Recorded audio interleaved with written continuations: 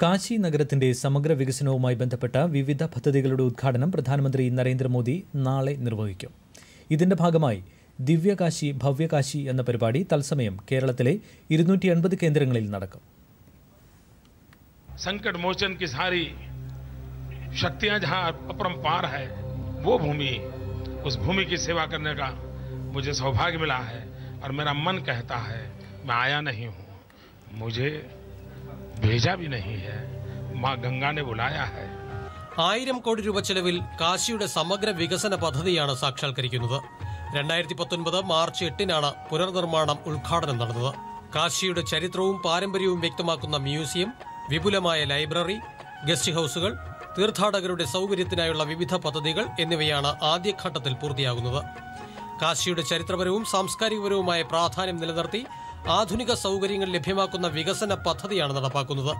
രാജ്യത്തിന്റെ വിവിധ ഭാഗങ്ങളിൽ നിന്നായി ധർമാചാര്യന്മാർ സന്യാസിവര്യന്മാർ സാംസ്കാരിക നായകർ ഉത്തർപ്രദേശിലെ മന്ത്രിസഭാംഗങ്ങൾ എന്നിവർ പരിപാടിയിൽ നേരിട്ട് പങ്കെടുക്കും.